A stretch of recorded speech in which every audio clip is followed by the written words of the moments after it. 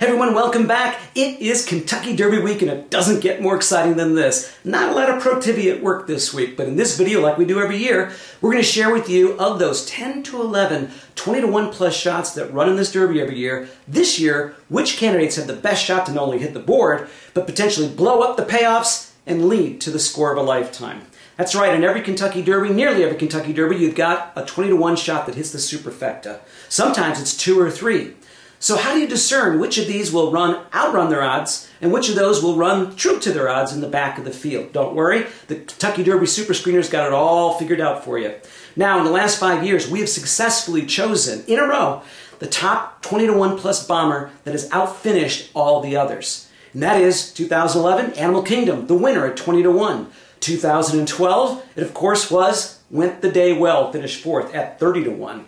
In 2013, it was Golden Soul who blew up the payoffs, hitting second at 34 to 1. And of course, one of our best years ever, 2014, Commanding Curve also finished second at 37 to 1, triggering huge payouts. Now, in 2015, the top bomber did not hit the superfecta, but our top choice did finish fifth, and that's Danzig Moon at 22 to 1. This year, who do we have lined up? We've got three candidates to consider from among those 10 or 11 that will be going off at 20 to 1 or higher. Candidate number one, Destin, out of the Todd Pletcher barn. Reminds us a lot of Invisible Ink and Bluegrass Cat, who both finished second at huge odds years ago for Todd Pletcher. He doesn't win this race a lot, but he does have a lot of horses that hit the board.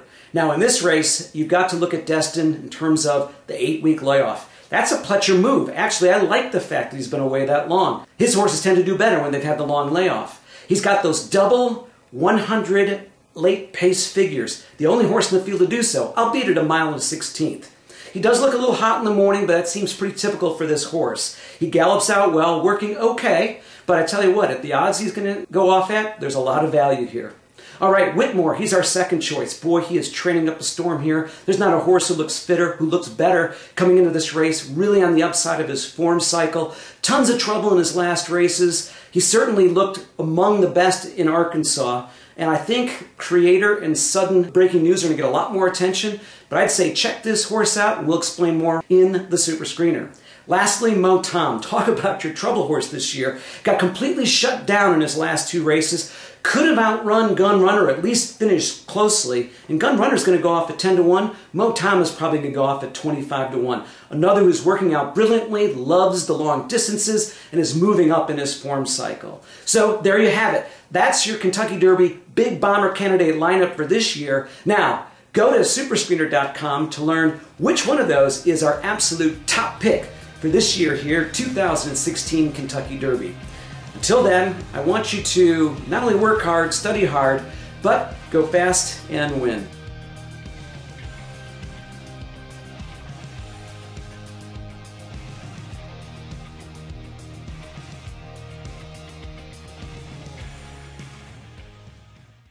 Run true to their odds in the back of the field. Don't worry, the Kentucky Derby Super Screeners got it all figured out for you.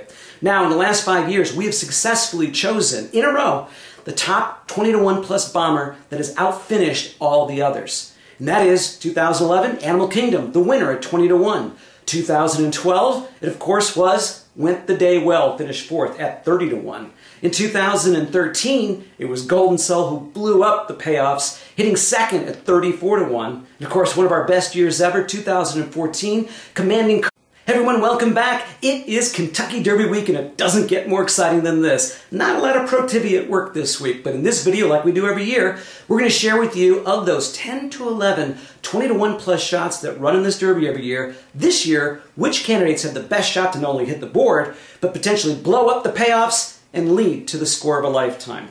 That's right, in every Kentucky Derby, nearly every Kentucky Derby, you've got a 20 to 1 shot that hits the superfecta. Sometimes it's two or three.